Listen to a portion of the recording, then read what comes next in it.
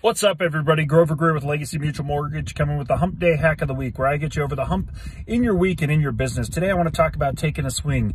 You're going to miss every shot you don't take. You got to get out there and take a swing. In the real estate market, it's really tough right now to get our clients under contract, but you never know what they're going to say. You got to stay out of your own head, watch your headspace, and take the best swing. Put uh, together a strong offer, work hard with your lender and your client to have all your T's crossed and your I's dotted, and take your best swing.